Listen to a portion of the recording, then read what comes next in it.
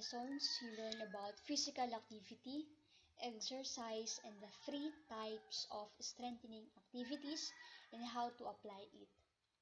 Now, in this chapter, we will focus on how you will improve or maintain your fitness level through exercise program using FITT principle.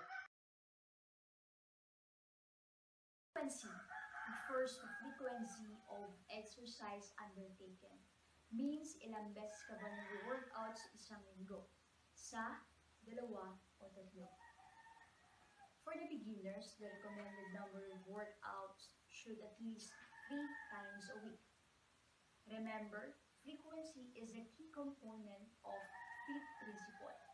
It is important to know why you are exercising and what you want to do before rushing into any exercise program. In addition, you need to adjust the number of times you exercise per day, per week, or per month to reflect your fitness level. What is intensity? Intensity refers to the level of difficulty of an exercise or workout, as well as the amount of energy used during performance. This principle is extremely important. Why? Because this is the aspect of principle. Intensity can be monitored through heart rate. Your pulse, or heart rate, is the number of times your heart beats per minute. Your target heart rate is the range of beats per minute you should aim for during exercise. It's recommended that this is between 50 and 70% of your maximum heart rate. This range is a guide and doesn't change if you have a heart condition, unless you take some types of medication. Don't worry if your heart rate exceeds 70% of your maximum. Exercising within this range can help you increase and maintain your activity levels safely. You can measure your heart rate manually by placing two fingers gently on the inside of your wrist, also known as checking your pulse. Or there are wearable devices, such as fitness trackers, that will monitor your heart rate throughout the day. In the gym, some pieces of fitness equipment are also fitted with heart rate trackers. Use our calculator at bhf.org.uk forward slash target heart rate.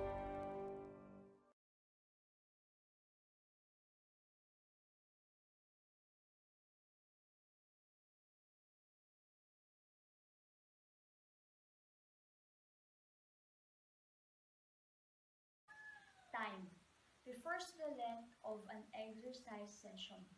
Kung ikaw ay inactive at gusto mo naman involves exercise or workout, you can start with light to moderate activities that last between 20 to 30 minutes or accumulate 10 minutes bounce for a total of 30 minutes a day.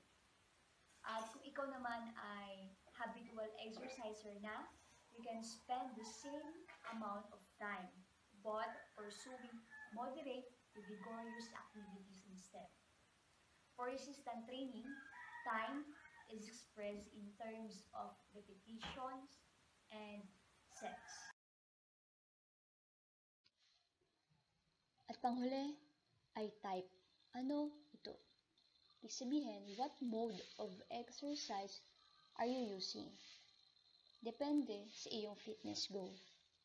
Kung gusto mong ma-improve ang iyong cardiovascular endurance, ito ang mga dapat mong gawin. Like walking, swimming, aerobics, biking, dancing.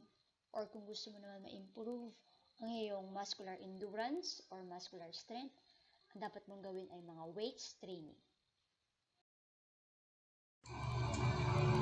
Lesson wrap up. Frequency means how often you work. Daily to moderate exercise is ideal, but try to exercise a minimum of 3 to 5 days per week. Intensity, how hard you work. Time, the length of time or duration that you work. Note, any workout na masyadong maikli ang oras ay mabagal ang magiging progress nito sa iyong fitness goal. Kapag masyado namang mahaba ang oras na ilalaan mo, maaari kang magka-injury. Lastly, type. Specific mode of activity to choose. When properly applied this principle, it is enables you to push your limits just enough to make progress without harming your body. It also decreases your likelihood of developing conditions like hypertension, obesity, or diabetes.